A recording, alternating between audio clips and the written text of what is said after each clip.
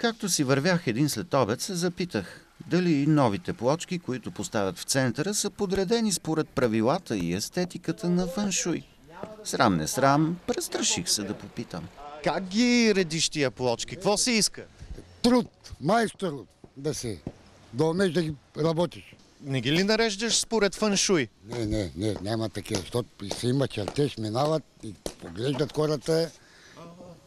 Всичко е, го искат както го пишат в книгите. Знаеш ли какво означава фаншуй? Фаншуй, долу-горе, ти ще кажеш. Постарах се да обясня. Както виждаш, няма никъде мръсотия, няма никъде такова, всичко е чисто. Тъй като накрая и двамата с майстора съвсем се объркахме, реших да предизвикам съдбата, опитвайки нещо ново за мен. Ти ще ми покажеш ли как се редят плочки? Ще покажа, стига да приемеш как. Ами дай да видим, дай да видим. Тоест един сантим луфт трябва да има помежду Фугите. фугата. Защо трябва да има лук? Защото ще има пълнеж.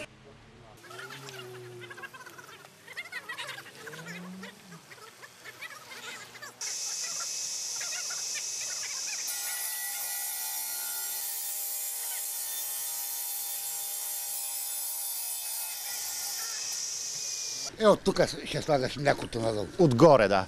Да се стече. Да се тапат. А, И това нещо ще издържи ли сега? Здраво ли е? Дай микрофона, де. Държи с две ръце. С две ръце.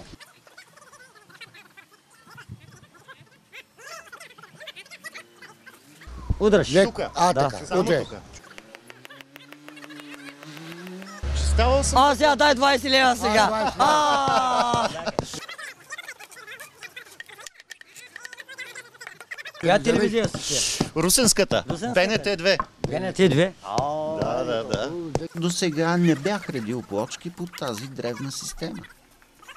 В края на краищата, без значение дали плочките по центъра са подредени според фъншуи или не, всички скоро ще можем да стъпваме спокойно, без да се притесняваме, че ще се окаляме или намокрим.